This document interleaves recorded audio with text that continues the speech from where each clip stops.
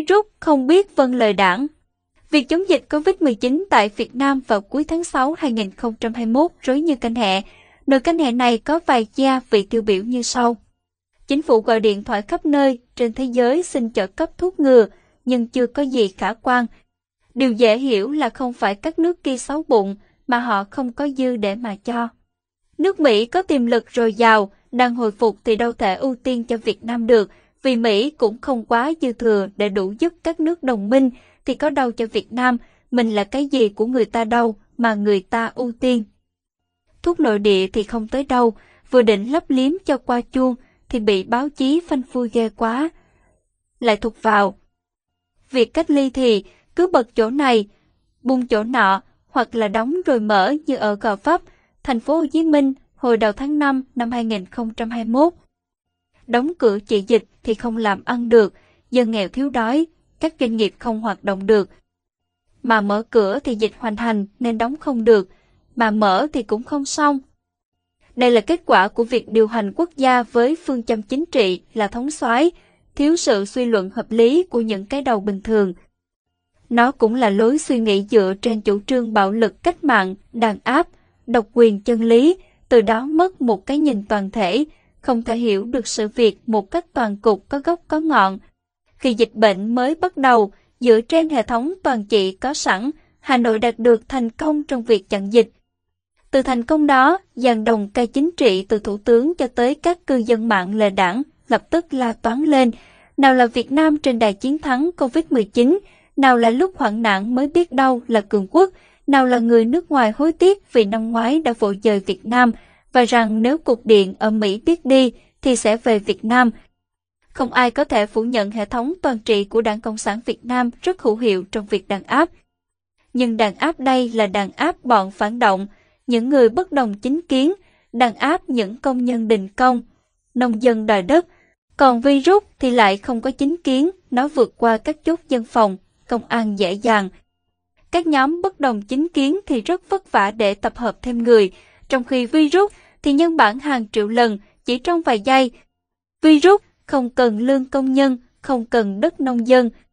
Virus không ngán chuyên chính vô sản lẫn ba dòng thác cách mạng, nó cũng không sợ đấu tranh giai cấp hay là bạo lực cách mạng, nó có thể tiến vào văn phòng trung ương đảng trong chớp mắt, cho dù đảng trưởng có tập hợp vài chục triệu dân, hô to chống dịch như chống giặc, cũng không thể chặn sự lây lan của nó.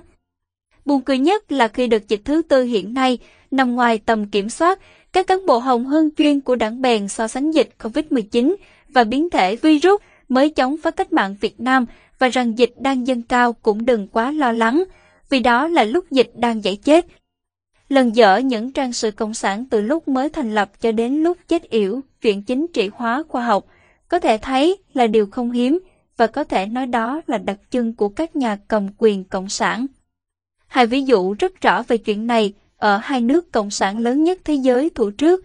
Một, Liên Xô có quan chức khoa học cho phim Lysenko cho rằng nhà sinh học Pháp Lamarck là chân lý.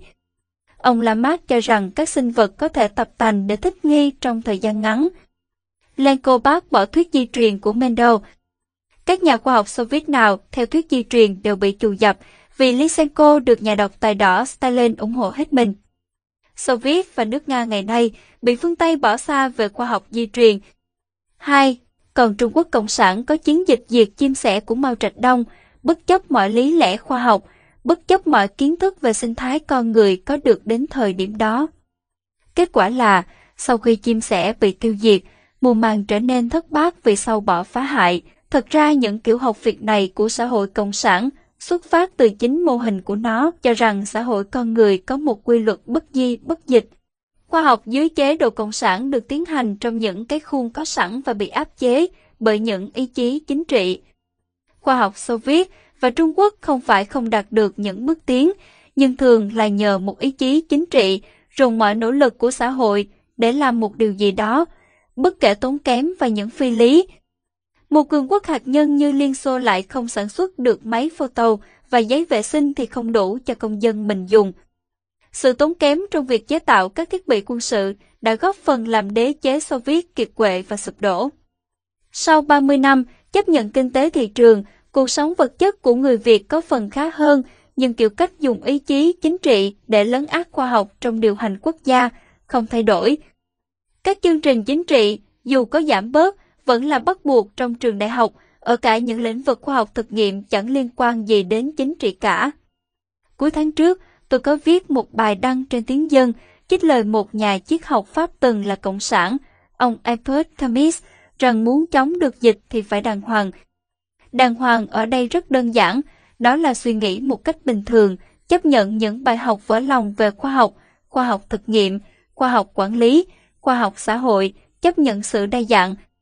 Những người đang cai trị Việt Nam nếu tiếp tục không đàng hoàng thì không những họ không chống dịch được, mà họ cũng sẽ không thể đưa nước Việt đi lên như nó xứng đáng được như thế.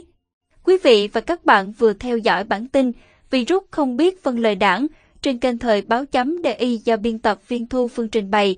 Chào tạm biệt quý vị và hẹn gặp lại các bạn trong bản tin lần tới.